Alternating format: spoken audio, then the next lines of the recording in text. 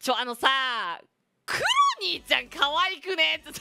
何かっていうとなんかね切り抜きで見たんだけどなんかクロニーちゃんが EN にねクロニーちゃんってねいう結構ねクールなスバルは最初クールな印象を抱いてたんだけどなんか意外になんかあの結構なんだろうクールなところもあればそうじゃないところもあるみたいなギャップがねすごいね可愛らしい方なんだけどなんかクロニーちゃんが日本語をめっちゃ頑張って喋ってる動画があったの。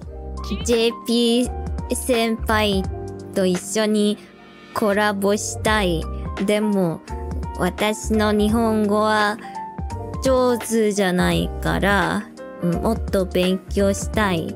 いやだからさ別にさあのなんか本人はね一生懸命ね話しててすごいけなげすごいねいいシーンなんだけどもうスバルはそれ見てね母性が爆発してでスバルは最近それを母性爆発動画だよって言っていろんなホロライブメンバーにあのもうスパムのように送りつけてんのね。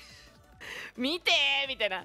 これマジで母性爆発して癒されるから見てっつって。すごいね。なんかもうスパムのように送りつけてる。うわー。クロニーのあの JP のホロメンの皆さんと仲良くしたいですって言ってた切り抜き見たぞクロニー。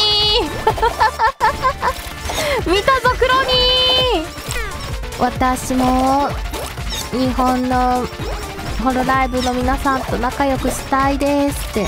あの可愛い切り抜き見たぞクロニうわー。そうスバルちゃんがめっちゃ布教してったそれ。僕にも布教してった。いやー